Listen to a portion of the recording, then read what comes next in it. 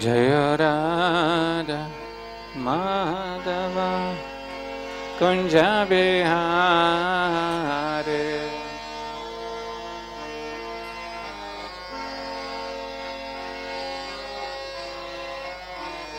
जय गोपि जान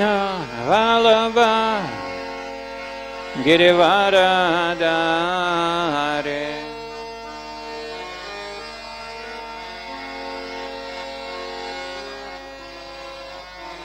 यशोदनन्दना व्रजनरञ्जना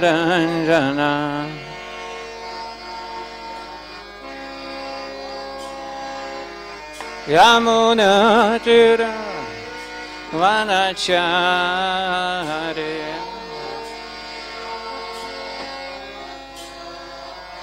यामुनचिरा वनचारे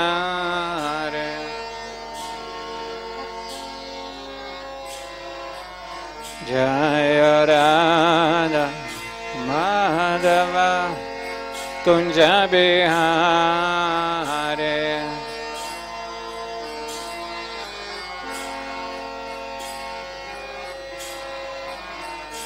जय गोपी जन वालबा गिरिवारा हरे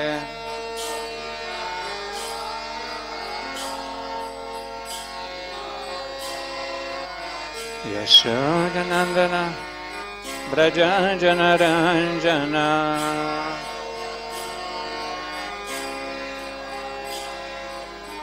यामुनाचिर वनचारे।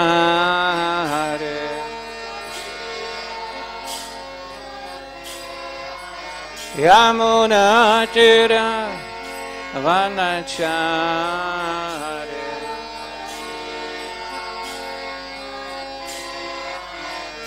Hare Krishna, Hare Krishna, Krishna Krishna, Hare Hare, Hare Rama, Hare Rama, Rama Rama,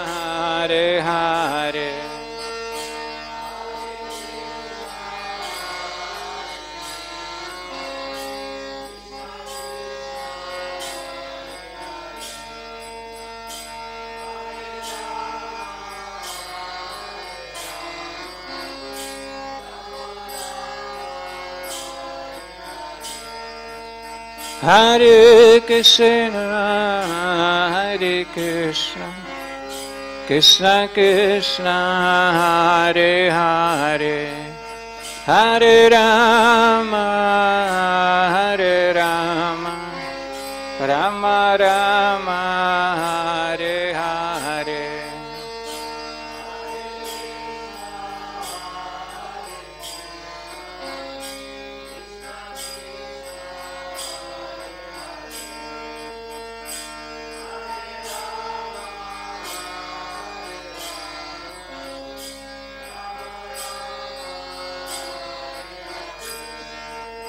Hare Krishna, Hare Krishna, Krishna Krishna, Hare Hare, Hare Rama, Hare Rama, Rama Rama, Hare Hare, Hare Krishna.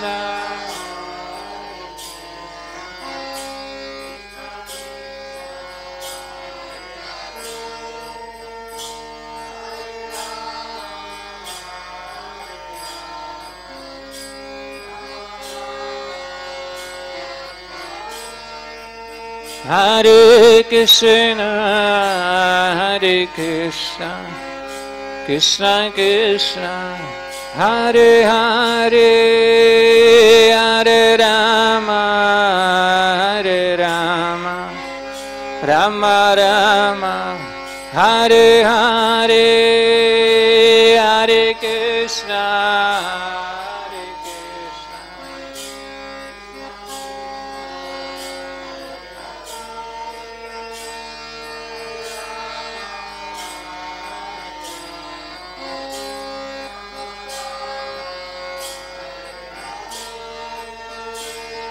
Hare Krishna, Hare Krishna, Krishna Krishna, Hare Hare, Hare Rama, Hare Rama, Rama Rama,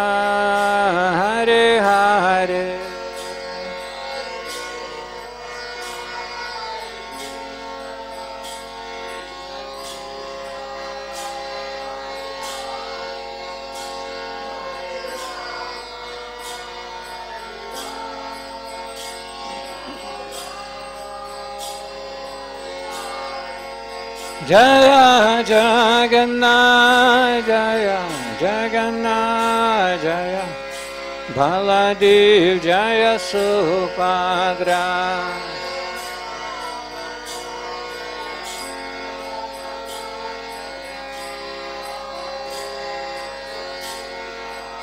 Jaya Nitai Gaurachandra Nitai Gaurachandra Gaurachandra Jaya Nitai Gaurachandra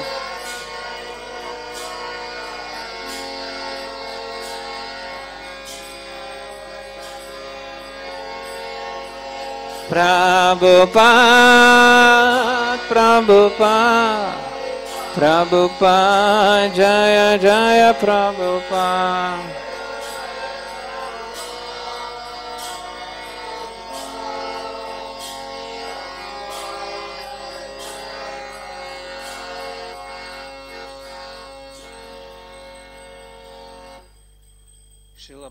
नाथ की। और प्रेमानंदी। ओम नमो भगवते वासुदेवाय। ओम नमो भगवते वासुदेवाय।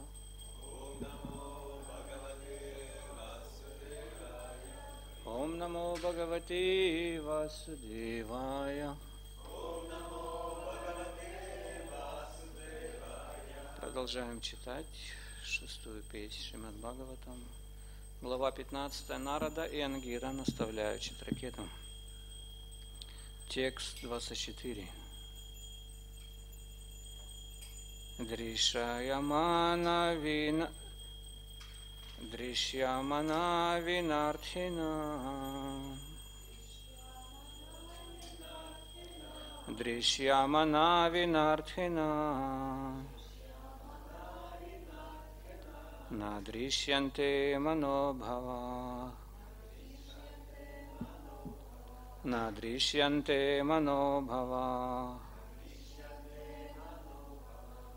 Карнабхирдхяято нана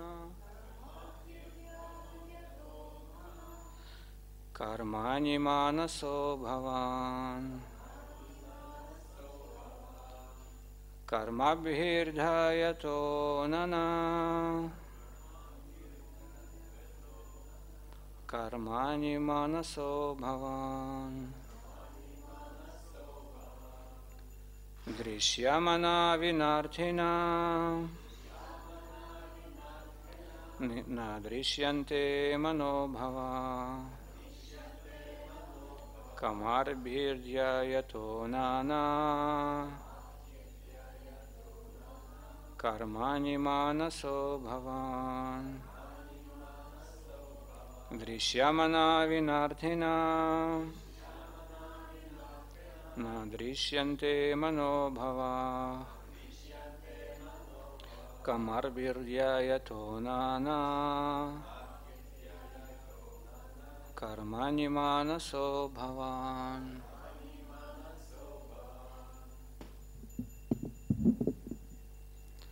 Пожалуйста.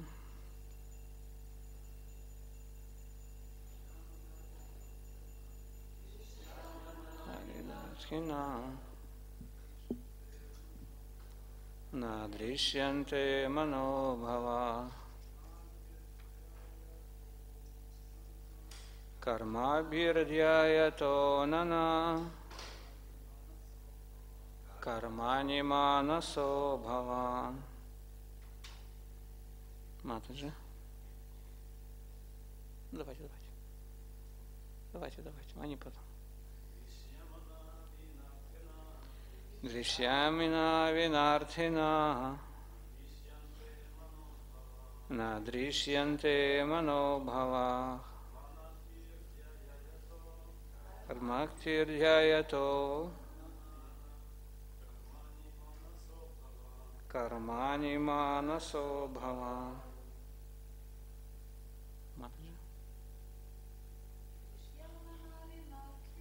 Дrishyamana vinarthina Nadrishyante manobhava Karmarpirjayato nana Кармани манасо бхаван Дришьяманах Воспринимаемые Вина без артхина вещественности. На не дришьянте воспринимаются. Манобхавах вымыслы. Кармабхих действиями ради плодов. Дхяятах обдумывающего на на разные кармани, корыстные действия, манаса из ума, абхаван возникли. Перевод и комментарий о божественной милости Бхактивиданта с вами Шила Прабхупады. Все, что мы видим вокруг, жена, дети и собственность, подобно сну или вымыслу, лишенному реальности. То возникая, то исчезая, эти зыбкие образы рождаются в уме из-за наших прежних поступков и побуждают нас к новым действиям. Комментарий Его Божественной милости Бхактивината Сами Шилапрупады. Все материальное лишь игра ума, порождающая призрачные образы. Так во сне мы нам могут привидеться тигры и змеи, и хотя их на самом деле нет, мы пугаемся их, принимая сон за явь. Все материальное в силу своей непрочности подобно сну. По этому поводу Шила Вишванача Каратекур пишет в своем комментарии. Артхена Виграха Сам Sarpadina Vinashva Drishya Manah Sapnadi Bhange Satina Drishyante Tatevabdar Dayo Vastava Vastu Bhutaha Svapnado Vastu Bhutasya Sarve Mano Bhavah Mano Vasanjanayatvam Mano Bhavah Во сне мы видим тигров и змей и для спящего человека они реальны, но стоит ему проснуться, как они исчезают. Так и весь материальный мир существует только в нашем воображении. Мы пришли в этот мир наслаждаться его богатствами, и наш ум, поглощенный материальным, выискивает все новые и новые способы наслаждения. По этой причине мы рождаемся в бесчисленных телах, выдумывая себе, выдумывая себе разные цели – мы стараемся их достичь, и если позволяют законы природы и Верховный Господь, кармана Дайваны Трина, мы в конце концов обретаем желаемое. Так мы все, все больше запутываемся в сетях собственных измышлений. В этом кроется причина всех наших страданий в материальном мире. Они, наши действия, Одни наши действия порождают другие, но в основе и тех, и других лежит просто игра нашего ума. Конец комментария. Омагената Миранга Сиагенанджана Шалакая Чакшур Милитанина Тасмай Шигуравай Намаха Шичайтанья Манобиштан Спаританина Буталея Свахарупа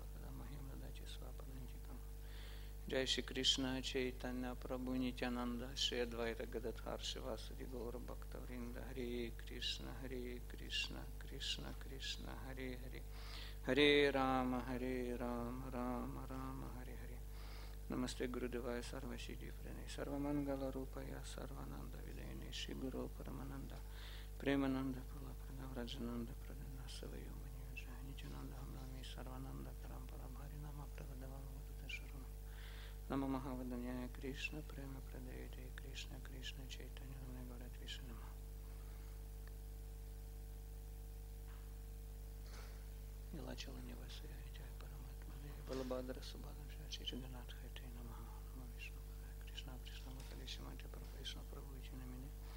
Дадати Бхагавата Твам Нищайна Манача Парупадася Приста Ствами Мигарупанашая Нама Вишну Падая Кришна Пришна Маталиси Мати Бхактивиданта с вами Нити Намине все, что мы видим вокруг, жена, дети, собственность, подобно сну или вымыслу, лишенному реальности. То возникая, возникая, то исчезая, эти зыбкие образы рождаются в уме из-за наших прежних поступков и побуждают нас к новым действиям.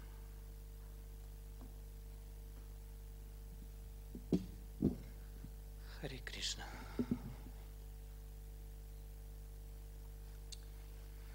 Мы уже в прошлый раз обсудили тему того, что, что нужно для того, чтобы понять, что я являюсь душой. Мы достаточно часто об этом слышим, об этом.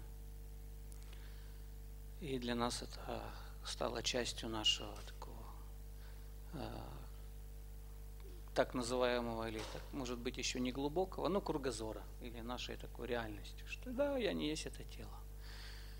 Э, я могу ощущать себя этим телом, не этим телом, до того момента, пока мне есть не захочется. Вот тогда я не есть это, не есть это тело, а потом приходится есть. Ну, так или иначе, как-то его надо поддерживать, и э, пока еще у нас нет глубокого понимания того, что мы не являемся этим, этим телом. И более того, хотя Кришна в Бхагавадгите, он, начиная описывать вторую главу, он объясняет как раз проявление двух природ живых существ. Это начинает описывать и объяснять Арджуне, что на самом деле действительности ты являешься душой. А, и в то же самое время он объясняет, что ты также являешься еще и находясь в этом теле, у тебя есть свои обязанности. И между этим, естественно, как только мы получим это знание, у нас появляется каша в уме. С одной стороны, я душа, а с другой стороны, я это тело, и мне тоже надо что-то делать. И люди путаются. Люди делают в своей жизни определенные поступки, которые подменяют одно понимание на другое. В конце концов, люди настолько запутываются, что они начинают просто отождествлять себя с этим телом. Что касается души, они даже представления не имеют, особенно под конец уже э, четырех юг, особенно в Кали-югу, это понимание настолько утверждается, что есть тело, что представление души очень-очень поверхностное. И люди даже вообще так вроде слышат, но понять и представить, что это такое, они не могут. Вообще никак. И в чем причина? Причина заключается в том, что чтобы понять, что я душа, нужно определенный образ мышления и, соответственно, деятельности. Мы уже говорили, я просто немножко вкратце, потому что я обещал, что мы продолжим тему э, прошлого, прошлой лекции, что нам необходимо тело. То есть, чтобы выражать, выразить свою индивидуальность, свою личностную природу. Я есть, я существую, что я личность, я должен иметь тело. Или материальное, или духовное. Уже вопрос, какое, зависит от нас. Но ну, через это тело мы проявляем свою индивидуальность. Поэтому нам легко, э, очень легко, душа, она отождествляет себя с этим телом. Особенно, когда сознание подвержено осквернению. Поэтому говорится, что есть обусловленное живое существо, есть освобожденное живое существо. И сама наша практика, именно процесс преданного служения, как раз предназначен, нужен нам для того, чтобы мы могли осознать, что я являюсь душой, И по своей природе я являюсь слугой Кришны. И что моя обязанность как души, то, что объясняет Кришна, Арджуне, понять, что ты душа и что ты по природе своей слуга. Это то, с чем мы не можем согласиться в этом мире. И, к сожалению. И хотя мы принимаем, знаете, как а, в свое время в первой главе Кришна Арджуну называет Гудакеша. О, Гудакеша, тот, кто победил сон. Ну, в, в немножко в другой, в другом трактовании этого он ему объясни, объясняет, он ему намекает на то, что у Арджуна ты готов слышать трансцендентное знание, потому что ты, благодаря определенной садхане, определенному развитию качеств, ты достиг, ты смог победить невежество. То есть ты уже являешься достаточно благочестивым, благочестивой личностью, которая уже не склонна совершать насилие. В этом мире все живые существа, их принцип построен вот, э, на том, чтобы, ну, это как поле, как, как Курукшетра, давайте так уже на основе Бхагавадгиты, это постоянно битва. Битва ложных отождествлений или эго. Мы постоянно кому-то пытаемся доказать, э, что мы наслаждающиеся, мы в чем-то превосходим кого-то, мы, и по крайней мере, если битва идет, мы должны быть победителями в этой битве ну так или иначе, постоянно битва. И она происходит на уровне там стран, э, я не знаю, даже вселенных, вселенной там, между планетами, там, демоны с этими. И она происходит, даже она замыкается, эта битва, она не прекращает происходить даже внутри семьи. Вот вроде как бы собрались два-три человека и постоянная курукшетра. Есть вот поле деятельности, какая-нибудь квартира, дом, и там Каждый день происходит какая-то курукшетра. На футбольном поле, ну где угодно. Так или иначе люди проявляют это невежество. И человек более-менее благочестивый, он начинает думать, ну зачем мне это все, вот это проявление этого невежества и этих, этих постоянных битв с кем-то, с чем-то. Вот давайте-ка я стану добрым. И так Арджуна так и хотел. Он сказал, я зачем мне это все сражаться? то я лучше не буду этого делать. Зачем оно мне все надо? И он, чтобы а, прослыть или чтобы избежать это. Одна из способов избежания вот этого настроения, находясь в материальном мире, заключается в том, что человек должен начать играть роль доброго человека, который а, придерживается принципа ахимсы. И Кришна посмотрел на Арджуну и сказал, ты лицемер, ты лицемер.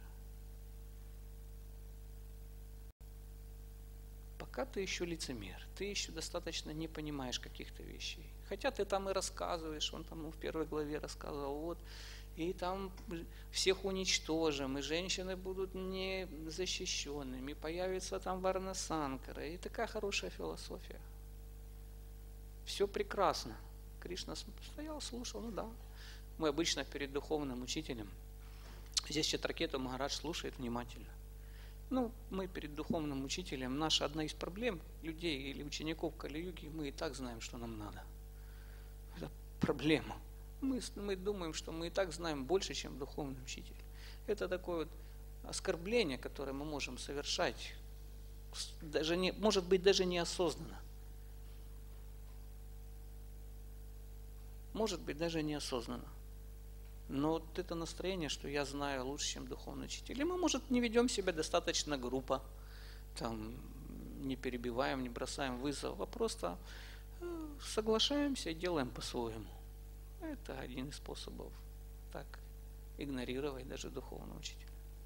Но здесь э, они слушают внимательно. Вернее, Читракита Махарадж слушает внимательно. Сначала Ангиру Муни, а потом будет слушать Нарада Муни. То есть два мудреца. Они дают замечательные наставления. И в этих наставлениях мы видим, что они раскрывают нам, ну, дают, давайте так, дают нам совсем другой взгляд на этот мир. Потому что в этом мире мы привыкли жить вот так вот. Моя страна, моя семья, мои дети, мое богатство.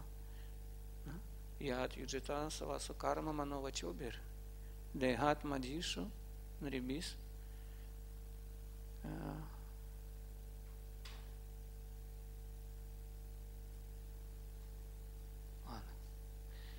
Я его еще до конца не выучил, наверное. Или просто переживаю. А, в этом, люди, в, этом, в этом мире люди привыкли действовать ради того, чтобы сохранить свое богатство и жизнь. И для этого они используют дар речи, ум и телесную силу. Но все их действия, а, ну, все их действия направлены на то, чтобы доставить удовольствие себе или своим родственникам, своим близким и родственникам. И относится к телу. Вся эта деятельность становится бессмысленной, потому что она не связана с преданным служением. Но если та же самая деятельность совершается для удовлетворения Кришны, та же самая деятельность, тогда она приносит благо всем. Подобно тому, как корень, политый, вода, политая на корень, приносит благо всему дереву. Этот стих из восьмой песни девятой главы, последний стих девятой главы появления Махини Мурти. Восьмой песни Шимад Бхагавата. То есть мы можем видеть, мы так или иначе действуем ради себя или родственников. Это такой принцип жизни. И мы так, так, так этот воспринимаем мир. Но здесь э, мудрецы дают нам совсем другое, другое понимание, другое видение. А наше восприятие, оно, конечно, а, или стереотип нашего мышления, оно всегда складывается от наших поступков и хранится в нашем подсознании или в уме. Это как самскары. Поэтому определенные эмоции, которые мы испытываем в этом мире, они отражаются потом в будущем э, и будут отражаться, или отражаются в настоящем в результате того, когда мы соприкасаемся с какими-то объектами и в нашем уме всплывают те э, чувства или эмоции счастья или страданий. И мы так привыкли, поэтому мы в этом мире всегда находимся в настроении защиты, мы защищаемся от того, чтобы нам никто не причинял беспокойства, но и всегда ищем способ наслаждения. Всегда ищем возможности для того, чтобы удовлетворять чувства. И это стереотип нашего мышления, который уже заложен в нашем подсознании, то есть в уме. Поэтому что мы делаем? Мы пытаемся довести нашу деятельность до автоматизма. То есть, что я хочу сделать? Я хочу сделать это, я хочу научиться делать это так, чтобы вот вести свой, свой день, начинать свой день так, чтобы меня не беспокоило, ну, какие-то, делать какие-то вещи, которые мне уже привычны. Поэтому у каждого человека есть а, свой привычный маршрут, свой привычный стул, свое привычное место – своя привычная ложка с тарелкой, своя привычная там уголок и так далее. То есть, ну, уже он, человек уже так делает свое привычное время для того, чтобы что-то делать, он уже это так формирует, свою жизнь, и доводит ее до такого, что он действует. И как только что-то не получается в его планах, его выводит это из равновесия. Как это так? Что-то я вот так распланировал, должно быть так, а сейчас это не так. И э, его выводят эти ситуации, приводят к беспокойству. Но на самом деле, если воспринимать эти ситуации немножко по-другому, с точки зрения знания, потому что сам по себе принцип автоматизма означает, что мы отключаем разум. Мы не способны к реактивному мышлению мы живем просто по накатанной. Но когда происходят какие-то ситуации, нас это выбивает, сразу же включается способность к мышлению, оценивать ситуацию и делать правильные, э, если есть знания, правильный вывод. И в этом особенность нашего разума. Вот эти все ситуации, которые происходят, там, умер ребенок, там, и то и подобное, такая горе, горесть такая. И, и здесь мудрецы пришли, объясняют, слушай, а что ты так переживаешь? Ему говорят, да что это все это в уме происходит?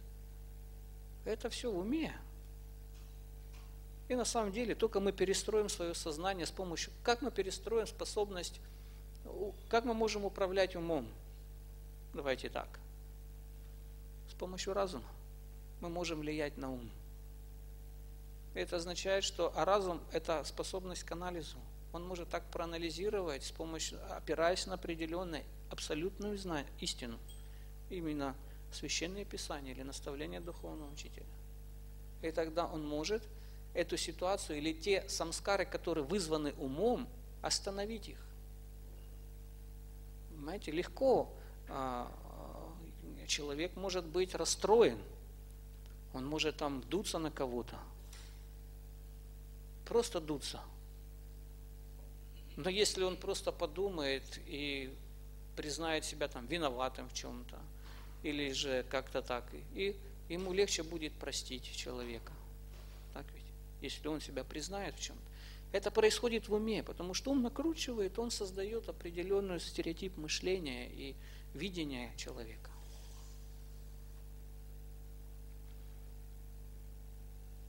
И так мы можем менять. Если мы правильно оценим ситуацию и да, я слуга, я достоин этого, может быть, моя вина в этом тоже есть. И мы сразу становимся спокойными. Сразу ум успокаивается, иначе он будет постоянно в возбужденном состоянии. И это состояние не будет давать нам покоя. Я еще не даю. Мы будем скорбеть при любой ситуации. А эти, а более того, у ума есть такая склонность, если там ладно, человек живет хорошо, благочестивый, у него все хорошо, и там раз в год что-то такое случается, и он... А когда это постоянно? Что не день, то новость, да. Тогда такой, ну, такой человек становится полностью, он попадает под влияние этого всего, он попадает в депрессию. Бхагавадгита называется, первая глава называется Вишада йога. Депрессия, в которой мы можем находиться постоянно. И нас с этой депрессии нужно вывести. И для этого нам нужно тоже приложить какие-то усилия. По крайней мере, для начала попытаться избавиться от невежества. А невежество, избавиться от невежества, это значит регулировать свою жизнь. Садана. Садана. Определенные, определенные действия, отвержение греховных поступков. Тогда, когда мы сами себе поможем в этом, сами согласимся для ума, что мы делаем так, мы делаем правильные вещи, в надежде на милость Кришну, тогда Кришна, он проявит милость, и в конце концов он подойдет и скажет, да, я смотрю, ты вернее, не, ну, не имею в виду подойдет, ну, по крайней мере, подумает, я смотрю, ты готов, готов совершенствоваться, ты готов обрести какое-то трансцендентное знание. Конце концов, он скажет, сарвадарма паритяжей, просто оставь все и предайся, и я избавлю тебя от всего. Мы ищем, да, не страшись ничего, он еще говорит. Потому что этот страх постоянного страдания, постоянной депрессии, он нас, он нас преследует. Он постоянно бегает за нами, и мы уже думаем. И я, я так насколько заметил, что вот под 50 лет этот страх, он уже, да, он уже просто, ты встаешь с ним и, наверное, спать ложись. Как родной друг. Если еще когда в молодости еще человек такой полон сил, он еще такой склонен бороться в этом мире, отстаивать какую-то свою там справедливость, то уже там в возрасте, слушал лекцию Бхактивиян Махарадж, он рассказывает, что там в 60 лет уже, по 60 лет, все уже там совсем какой-то происходит цикл что уже живое существо, оно уже просто, если не погрузится в депрессию, и уже, знаете, там, ему надо тоже в уме согласиться, дожить эту уже жизнь, в конце концов. Или же продолжать бороться. Но душа борется за что? Когда мы понимаем, что мы душа, хотя бы даже теоретически, мы постоянно находимся в процессе преданного служения. И процесс преданного служения нас и поддерживает. Все остальная деятельность, она как здесь, она увянет. Дети, все, что мы там напланировали, богатство, как здесь объясняют, что это все мы уйдет. Вот уже уйдет. И мы это понимаем. Я думаю, что уже пенсионеры хорошо это понимают, что это все уйдет. И мы ничего с этим не можем сделать. Мы не этот процесс не остановим. Как бы мы ни пытались сохранить, используя для этого свою силу ума, силу разума, жизненную силу, речь, не остановим. Так ведь? И что сделать надо уме? Просто предаться Кришне. Нужно предаться Кришне.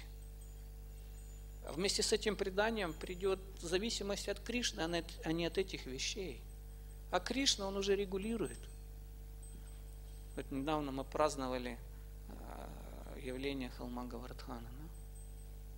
И там интересным образом, я чуть-чуть расскажу эту историю, она подходит под эту тему, чтобы кое-какие моменты прояснить. Когда Кришна подошел, увидел, что суетятся а, жители Вриндавана совершать, пытаются что-то, какие-то яги провести, бегают туда-сюда. Они подошли с Баларамой и сказали, о, а что ты, мой папа, делаешь тут, к Нанди Махараджу?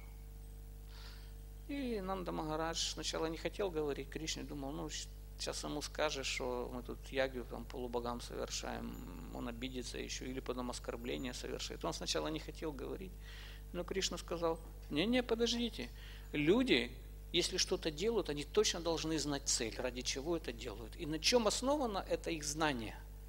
Они тоже должны на истине, имеется в виду на священных писаниях, на предписании шастер, или же на традиции, которые складываются в каждой семье, есть своя традиция. Иногда бывало, там едешь а, куда-нибудь в, ну, там, или книги распространять. Мы раньше ездили и постоянно жили у преданных, даже у преданных каких-то квартирах или съемных. И у каждого там есть своя традиция в доме. Вот это вот не так надо делать, вот это надо так вот делать, вот это сюда надо подходить, вот это сюда, и вот так вот. Все, и как-то это такие традиции, у каждого, каждый как-то привыкает к этим всем вещам. И потом навязывают эти традиции, мы смотришь то же самое, начинаем через неделю жизни в этой квартире, уже смотришь, ты заходишь, уже первым делом идешь там, э, выключаешь что-то, что-то включаешь, что-то там это, и уже у тебя какая-то, уже такой, и уже когда приезжаешь в другую квартиру, уже думаешь, что-то что не хватает мне, надо что-то сделать, а что непонятно. И если человек э, и тогда Нанда Махараш уже смотрит, что Кришна настаивает и хочет узнать, сказать, ну мы там поклоняемся Индре. Он высказал свою идею, что на самом деле это делали наши предки, это делали там наши там отцы, деды и так далее. Многие люди это делают. И он объяснил даже почему. И Кришна слушал, слушал, потом сказать, папа, говорит, ну зачем оно тебе? Говорит, ну, у тебя, я понимаю, там твои предки, твои деды, но у тебя-то есть я. У тебя-то есть я. У них там, они не знали о Кришне, имеет в виду. Может, они там еще не знали о Кришне. Но у тебя уже я есть. Ну, это так Кришна шутил. Потом в конце концов начал говорить, слушай, говорит, ну, так а зачем это? Кто у нас, кто наш друг, кто наш враг, кто наш э, этот, как он говорит, э,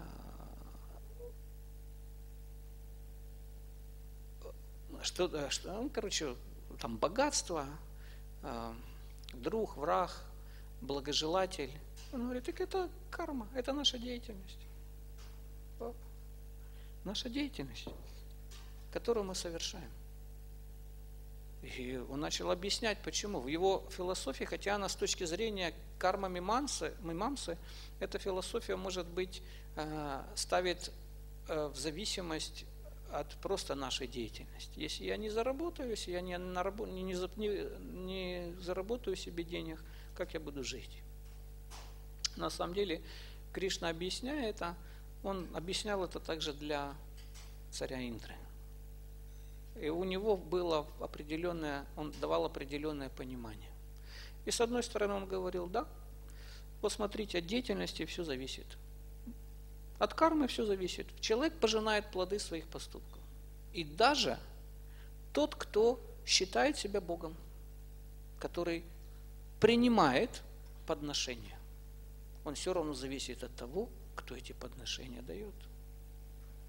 На самом деле Кришна хочет объяснить, что смысл поклоняться Индре ну, какой, если даже полубог зависит от последствий, последства, последствий своих поступков. Даже Индра. Его положение, но он возгордился, он забыл. Он потом скажет, а, и, ну, то есть другими словами, Кришна говорит, а кто, кто контролирует карму? Кришна. Не полубог Индра или там Брама. Кришна. Кришна в сердце, он контролирует это все. И такими, таким образом он объясняет Нанди Магараджа, что на самом деле не от полубогов это все зависит, а от Кришны, от Господа. Поэтому можешь поклоняться, а Кришна доволен, когда поклоняется Гавардхану, коровам. Ну, потом подумал, сказал, ну и я буду счастлив. Так, мягко очень намекал Нанди Магараджу. Нанда Магарадж с пастушками, с пастухами, с гопами послушал и сказал, ну да, давайте. И тут Индра.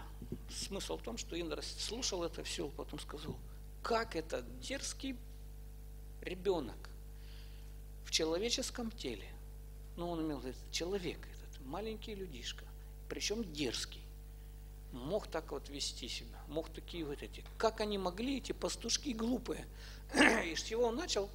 Первое, с чего начал Индра ругать э, жителей Вриндавана, с того, что эти глупые люди под влиянием этого дерзкого мальчишки забыли о своей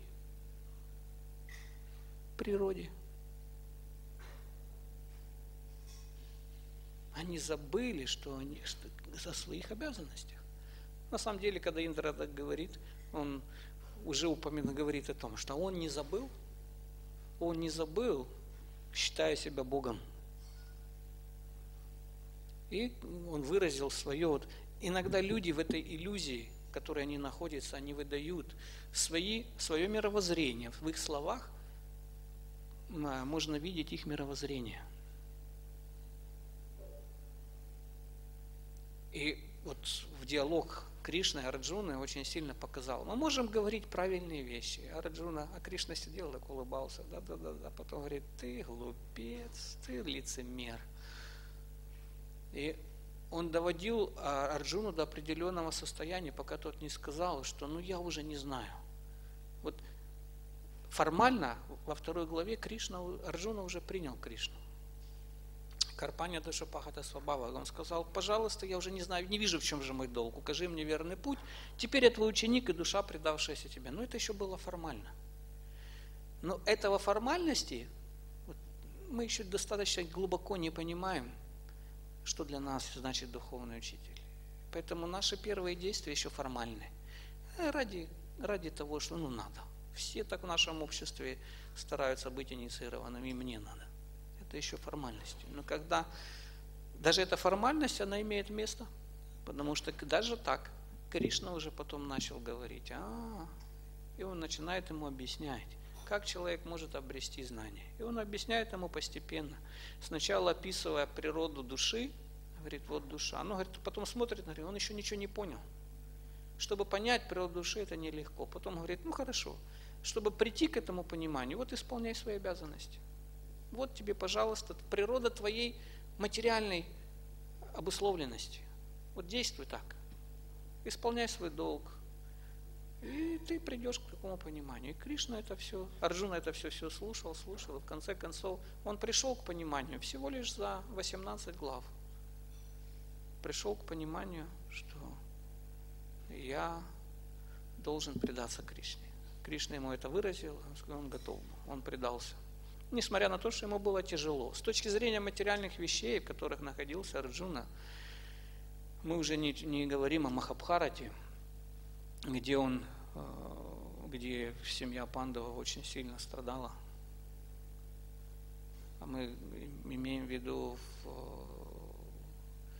даже в этой ситуации, когда Арджуна, Кришна так взял и поставил его напротив привязанностей, деда Бишмы, Дроны – и вот приходится сражаться, и тут сразу Арджуна делал вид, что он такой хороший, даже слезу пустил. Я ж такой благочестивый, как я буду сражаться? Зачем? Зачем я буду причинять насилие? А Кришна говорит, человек причиняет насилие себе уже автоматически, если он не следует своей природе и не служит Кришне. Если человек отвергает Кришну, он будет находиться в ж...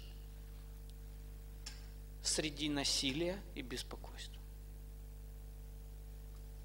Все. Только мы отвергаем Кришну, все, нас будет окружать беспокойство, потому что это природа материального мира. И его нужно отстаивать. Каким образом? Погружаться в служение. Мы вот в среду с преданными читали э, демоны Бали Магарадж захватил райские планеты. Но перед тем, как подойти к городу Индры, Индрапури, он окружил его, и полубоги побежали к своему э, учителю Бригаспати. Спросили, что делать нам. И Бригаспати сказал, сейчас не ваше время. Сейчас вы ничего не можете сделать. Они настолько удовлетворили э, браманов, демоны, своими подношениями, своим жертвоприношением, что они просто вас уничтожат. Поэтому вам лучше спрятаться. Даже полубоги, вроде все, что есть, сидишь себе, попиваешь напиточек, который называется амрита. Продлеваешь себе жизнь, болезни нет. Ну, что-то тут в этом мире не так. Кто-то придет и есть такие живые существа, которые отвечают на наш, на наш вот это слишком, знаете, как слишком много чувственных наслаждений, человек тоже забывает о Кришне. Не то, что забывает, а по сути дела забывает, они его отвлекают. Поэтому мы должны держать этот баланс. С одной стороны, это наша природа быть счастливыми. Но мы должны четко понимать связь между а, этим счастьем и нашим служением Кришне. Наше счастье, единственное наше счастье, основано, и причем безграничное счастье. Это блаженство, которое мы получаем в служении Кришне. Именно поэтому, когда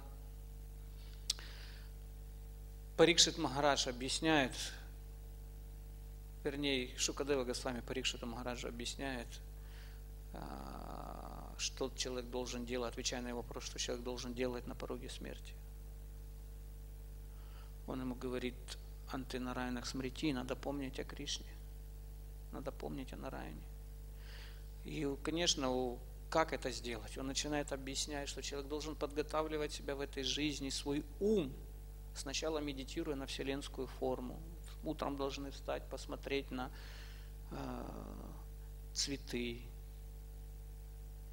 и, или там, э, ну, у нас, слава Богу, есть Кришна уже в форме божеств. Джаганат Баладев Супадраджи, Шинитай Гурачандра. Посмотреть на деревья, это волосы на теле Кришны. Но дальше он может пойти уже понять, что оказывается Кришна не только внешне, он еще и внутри, он руководит каждым живым существом. Он его ведет, он отвечает, он как бы э, дает ему возможность насладиться плодами его поступков. И в конце концов он потом скажет, ну как же, когда человек, любой человек в этом мире, который узнает, что он умрет, он начинает же страдать.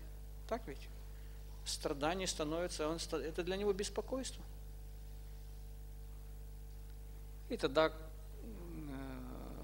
как он может помнить и о Кришне, и как он может там, что он может делать, потому что там вопрос был, что он должен слушать, как, что, о чем он должен помнить, какие обязанности исполнять. И тогда э, Шукадева Госвами скажет, да, что ты переживаешь, не бойся, все возможно. Тад ашма сарам хридаям батедам яд грихимана ирхарина магия. Если человек сосредоточенно повторяет святое имя Господа, не испытывает экстаза, если его глаза не наполняется слезами, а волосы его не встают дыбом, значит его сердце заковано в железо. То есть он дает понимание, что мы на самом деле можем найти прибежище у святого имени, и святое имя наполнит наше сердце радостью, блаженством. И мы, мы можем испытать это чувство радости при любых обстоятельствах, даже при таких, как узнаем о смерти, если мы найдем прибежище святого имени. Кто испытывал радость в этом мире от чего-либо, что у него волосы становились дыбом, глаза лились из слез, а? голос дрожал. Кто-то испытывал такого уровня радости в этом мире? Это возможно только соприкосновение с Кришной. Харе Кришна.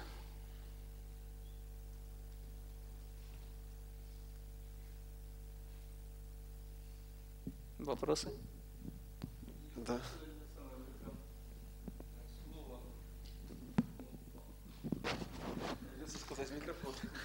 Вот эти все слова, вот эти все русские, там, вот эти все сплетения, они ну, связаны с чем-то, с каким-то действием. Вот, допустим, слово «я ну, деятель», оно означает «я тело». «Я тело». Ага, еще момент такой важный, допустим, мы говорили за ум, что ум ну, такой, он такой жестокий, да, он, короче, дает ну, нам, так бывает, что очень трудно им управлять, то лучше, ну, с мучными завязать, не употреблять хлебные. Тогда ум, э, его можно контролировать. А так, даже есть такая песня, есть такая, ты запомни, сынок, они, они это имели в виду. Золотые слова, хлеб всему голова. Получается, хлеб, когда ты его кушаешь, он разбирает голову сперва, а потом, потом уже ты думаешь, что хочешь. И получается такая непонятка с хлебом. А так, когда хлеба не кушаешь и читаешь молитву более внимательно, то тогда оно веселее на этом самом, на этом. Ну, еще Кришна тут, конечно, ну, Надя Махараджу рассказал, ну, вот это зажитоприношение. И, конечно, ну, он же сам Господь, и он, я так понял, что это все для нас, ну, типа, чтобы мы могли это все читать использовать, и понимать, что, ну, вообще, кому мы обязаны. То, что если это все ну, ну, мне вот это интересно, еще такой вопрос. Ну, а как, как, а как Индра? Что он не видел Кришну, что он же красивый? Он же там видел его в Вриндаване. Что это его так типа затмило так, это, так серьезно, да? Иллюзия или невежество в этом мире заключается в том, что мы забываем, кто такой Кришна. Как в знании, так и в способности его воспринимать. В этом-то и суть иллюзии она скрывает от нас Кришну. Поэтому человек, который попадает под сильное влияние иллюзий, невежества, он забывает, он перестает видеть Кришну, он начинает его считать обычным человеком.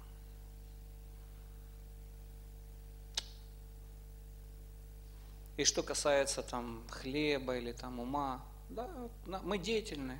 Вот я как раз об этом и хотел сказать. Вопрос, в каком теле мы делаем, действуем. Наша задача научиться сейчас материальное тело использовать для того, чтобы научиться преданному служению, чтобы впоследствии получить духовное тело и действовать в духовном теле. Мы не хотим стать одной десятитысячной кончика волоса.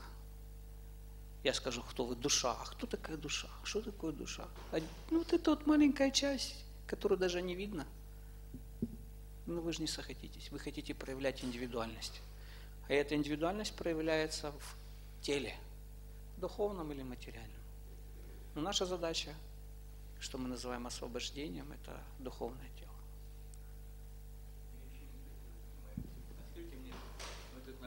Ну, я так тоже в это, это поддерживаю эту, эту концепцию.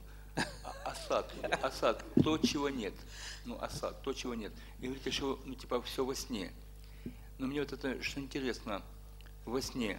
А вот это Курукшетра, ну это, она была тоже во сне или это было ну, настоящее? Как это понять? Имеется в виду сон, это э, сравнивается со сном не то, что этого как нету. Это просто все временно. Сон – это часть жизни. И сновидение – это часть жизни. Но они в этой жизни нереальны. То есть вы проснулись, и ваша жизнь начинается по-другому. Вот мы сейчас из-за определенных отождествлений отождествляем себя там женщиной, мужчиной, там, я не знаю, тараканом, я не, кем угодно. Таково отождествление. И мы думаем, что это я и есть, это мое проявление. А на самом деле это просто та форма, которая сегодня есть, завтра ее нет. Его завтра уже нет. Ну, Кто-то его прихлопнул, там уже и все. Ну да, ну там вот это в Бхагавате, 25 страница, кажется. Асад – то, чего нет. Понятно, что а потом уже говорят, оно есть, оно временно.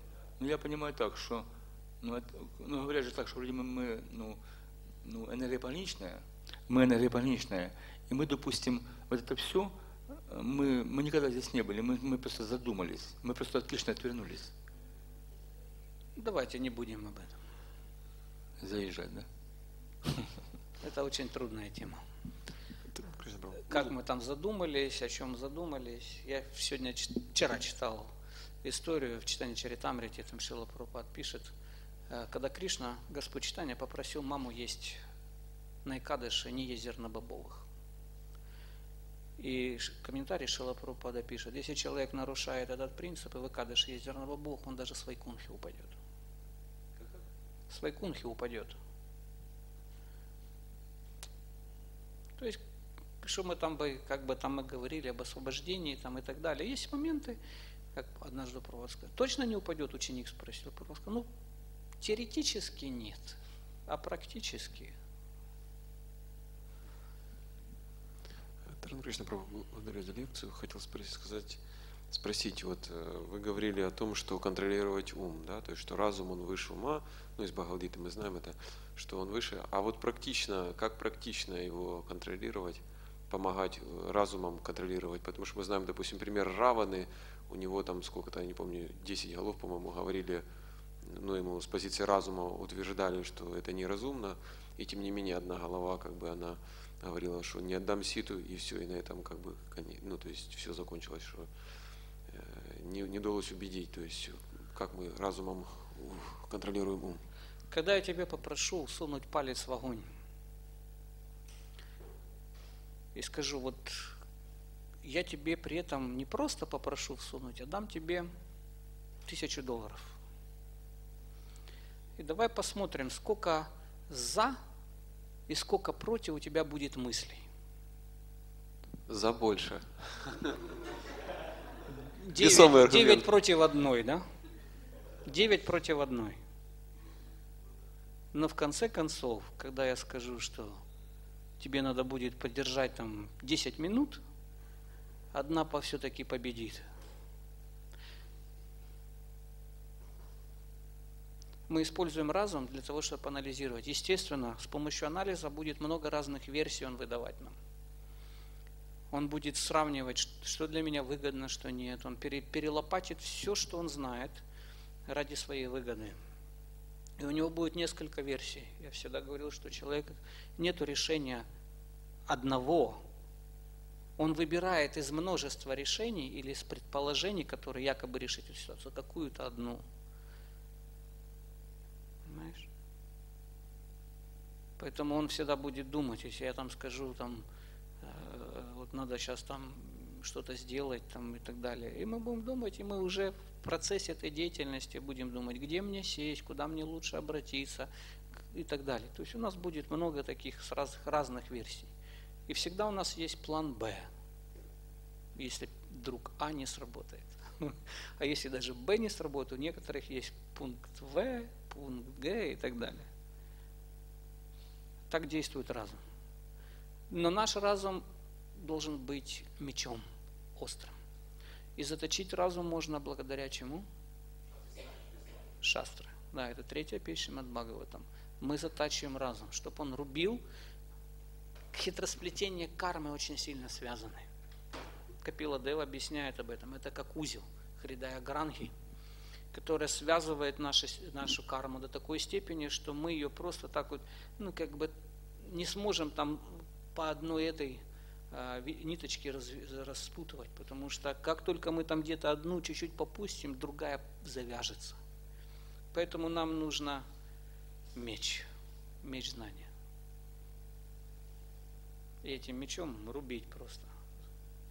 Быть очень решительным. А заточить его с помощью знания, пожалуйста.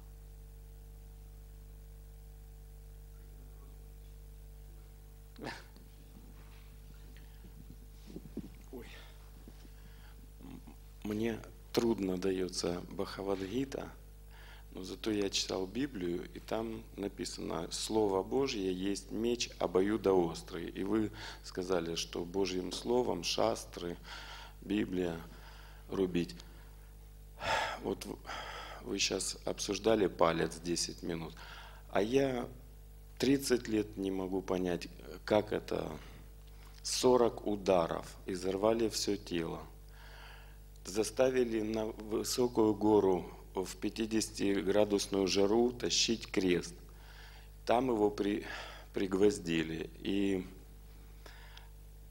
потом он воскрес. И, ну, я никак не могу понять. Это возможно вот такое вот? Вы верите вообще в Иисуса Христа? Верю, но говорю, что помоги моему неверию просто. Ну, то есть, как бы, ну, сомнения есть. Не просто сомнения, ну, вообще невозможно в такое поверить. Это возможно такое у Кришны. У Кришны все возможно. Это же воплощение Кришны. Он после Господа Чайтанья пришел, 26-й. А потом уже будет вот этот вот К, К, Калки Аватара. Калки. Иисус Христос, Он не относится к Кришне. Он как Шакти Веша Аватара или уполномоченная личность. То есть это не прямое его воплощение. Не прямое? Но он мог такое сделать, ну, или вот отец, он, он всегда с отцом говорит, отец там Это как помоги, Шила дай. Прабхупада, как Шила Прабхупада тоже относится к такой категории Шакти Веша Аватара. Вы много понимаете Шилу Прабхупаду? Наше дело, дело в том, что мы относимся к таким личностям Шакти Веша Аватара как к обычным людям. Но это не обычные люди. Они живут и ведут себя как обычные люди. Поэтому у нас и сомнения, может он делать что-то. И некоторым людям невежественно он показывал какие-то чудеса. Вы знаете, кого-то он излечивал, правильно? Кого-то делал слепым, каких-то блудниц он там делал праведными. Он делал какие-то вещи. Но Шила Прабхупада, смотрите, сколько много сделал по отношению к нам. И для нас это просто как бы мы живем в этом, и мы не считаем это чудом. Поэтому, когда Шила Прабхупада в, в, на Кумбамеле пришел йог, который там начал подниматься там, или летать в комнате, там, что-то делать, какое-то могущество проявлять, и сказал, а что вы умеете с вами же? И Прабхупад показал на всех, которые стояли учеников сзади, говорит, а мое чудо вот. Я из них, из этих неправедных людей сделал преданными. И йоги, которые хоть немножко обладали знанием, они понимали, что это самое великое чудо. Можно все, что угодно сделать самому, но поменять сознание людей – это самое большое чудо в этом мире. Иисус Христос, будучи проповедником, это делал. Не все, конечно, но какую-то часть, и до сих пор его последователи есть. Но, к сожалению, в этот мир он создан так, что люди хотят, демонические люди, воевали с Кришной, хотели убить, воевали с Рамачандрой, хотели убить. Собира- Собираются и пытаются уничтожить Кришну, как Хираня, Кашипу, как Равана, знаете, Дурьотхана. Все хотели убить Кришну, Бога. Это невозможно, но они хотят. И такова иллюзия. И иногда и ради определенной жертвы, определенного, а, не знаю, там, веры, люди свои жертвы, проповедники жертвуют собой. Жертвуют. Они жертвуют всем ради Кришны. Это их служение. И иногда они идут с крестом и идут добровольно на распятие. Но у них другое понимание. Для них это служение Кришне, служение Богу. Они несут определенное а, понимание людям, которое их потом будет поддерживать. И ради этого, а, как Священное Писание, читание Чаритамрита все говорит, самое высшее, сама- самая высшая благочестивая деятельность в этом мире заключается в том, что люди действуют ради блага других живых существ. Говорит, вот это люди, это самая высшая благочестивая деятельность. Спасибо. Поэтому верьте, если вы уже верите в Него, то верьте. Верьте, и ваша вера должна быть без сомнений. Потому что мы верим, когда нам выгодно, из страха. А надо просто углублять это понимание. А углублять понимание, это значит, надо следовать. До тех пор, пока вы не будете следовать наставлениям Иисуса Христа или Кришны, наша вера будет слепой. И здесь, как раз вот в этих наставлениях мы будем читать дальше. Нарадамуни скажет, что на самом деле наша вера не должна быть слепой, она должна быть, будет подчеркивать, что именно Читракету Махараджу, что надо эту веру усиливать. А только практика и следование наставлениям поможет нам в этом. До тех пор, пока мы не будем следовать этому всему. Ну, что, ну, что он там сказал? Ну, не, ну, там это, это. А я этого не делаю. Люди говорят, я верю в Иисуса Христа. А что тут там десяти заповедям? Хоть знают они их? Я, да, я даже стихи написал на 10 заповедей. Ну, а кто следует тогда? Хорошо знаете, а следовать? Ну, не убиваю, не краду, м,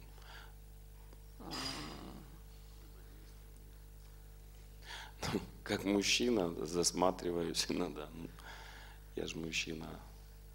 Но стараюсь это, ну как, побороть. А любишь ближнего своего? Тоже стараюсь.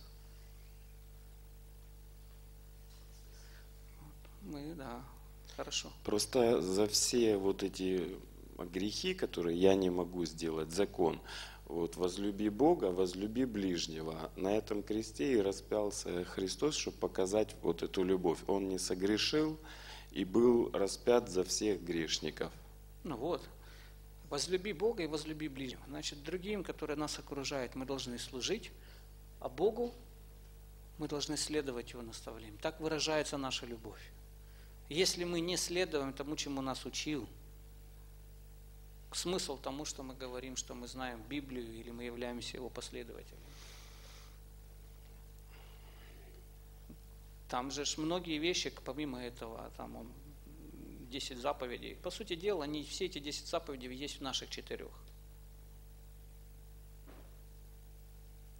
Мы не, незаконного секса нет, насилия нет, а, азартных игр нет, интоксикации нет. Все. И если вот так вот разобраться, то все 10 заповедей Иисуса Христа есть в наших четырех. А первая заповедь «Я Господь Бог твой, выведший тебя из земли египетской, да не будет у тебя других богов перед лицом моим». Ну и Евреев он вывел из Египта и, и вы сказал им сейчас о чем говорите? о первой заповеди. Это Ветхий Завет или Новый? А в новом возлюби Бога, возлюби ближнего. То есть я считаю, что в Новом Завете Бог уже для всех. Вы И- какую принимаете? Просто Библию я понимаю, а Бхагавадгиту мне надо растолковывать, потому что Ну так приходите на лекции, приходите на обучение. Тут-то как раз это Шила Прабхупада создал эту организацию для того, чтобы люди получали знания. Но чтобы понять Бхагавадгиту, нужно учиться следовать этим наставлениям. Очень тяжело, очень тяжело ее понять. И Арджуна, и Кришна, даже Арджуне, будучи уже преданный Арджуна, он даже он тяжело понимал это все, и поэтому задавал многие вопросы. но она была написана пять тысяч лет назад, а тянется из далеких времен, когда Ну, люди он говорит в запоминали. чет- четвертой Всё. главе Бхагавадгиты он говорит, я это знание передавал Богу Солнцу Вивасвану. Поэтому ей, она была в начале творения. Просто он ее повторил Арджуне. Потому что у людей склонность, он говорит, как это, Забывать. нет, он говорит, что да, когда на земле религия приходит в упадок, Приходит в упадок, Кришна. и воцаряется безбожие. Тогда приходит Кришна. Да. И просто есть необходимость, чтобы это все знание повторилось. А сейчас вот, когда ушел Прабхупада, кто пришел, потому что тоже опять воцаряется беззаконие. Почему? Ну, Кришна в каком образе пришел сейчас? Вот когда Кришна, он присутствует в форме божеств, видите? да. В форме божеств, в форме святого имени. форме Шримад Бхагаватам. Когда мудрецы спрашивают, где нашли прибежище принципы религии, Шукадева Госвами говорит, они нашли прибежище в Шримад Бхагаватам. У нас все есть. Шила Прабхупада, он не дал нам чего-то нового, он просто нас опять направил. Он дал нам то знание, которое уже было и передавалось по парампоре, было потеряно. Сейчас он это нам возродил. В этом его особенность. Он просто дал свои комментарии, в которых он живет. Вот мы читаем, и здесь комментарии Шилы Прупады для нас делают это знание доступным и понятным. Но он уже возродил это, он восстановил поклонение божествам, он э, утвердил э, или как бы вдохновил преданных воспевать святое имя, служить Кришне. Все он уже это сделал. Ну, я так понял, что как Иисус оставил 12, вернее 11, а потом Павел присоединился к ним, э, то Прабхупада оставил вот тех учеников, которые были с ним в Америке. Не надо это сравнивать. Не, не делайте это сравнение, потому что люди запутаются в этих вещах. Каждый действует по-своему. То есть у Кришны многие, многие лилы Кришны разнообразны. Там будет 12, там будет 13. И если у нас будет нестыковка, то мы запутаемся. Нам, мы будем стоять перед выбором, что нам лучше принять, там где 12 или где 13. Нет, я не в том смысле, сколько по числу. Но Прабхупада оставил вот тех учеников, которые Шила лично Прабхупада были просто с сделал ним. совершенный способ на данный момент. Он использовал совершенный метод для того, чтобы знание было не утеряно. Итак, он использовал браманическую культуру. Браманическая культура – он упоминал, что это те личности, которые на основе шастр могут добиваться или э, понимать, или добиваться знания полностью, соглашаться с ним на основе шастр. То есть, если, допустим, э, кшатри там пытаются довести знание до того момента, где кто сильнее, тот и прав, вайши, кто богаче, тот и прав, шудра, кто старше, тот и прав – то в бармоническом обществе, кто больше знает, тот и прав. И вот они собираются, они обсуждают, слушают, правильные доводы приводят к определенному пониманию, то есть, если они все соглашаются, они принимают решение. Это такая, знаете, как э, своего рода трансцендентная э,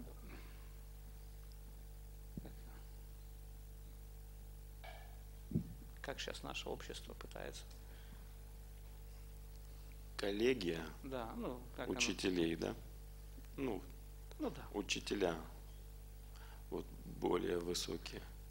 Просто Прабхупад сделал так, чтобы не было одного, потому что из-за того, что у нас много зависти, а, Кали-юга очень сильно влияет на людей, поэтому чтобы было коллегиальное решение, это самый лучший способ. На самом деле это еще придумал Бхактисанта Сарасвати.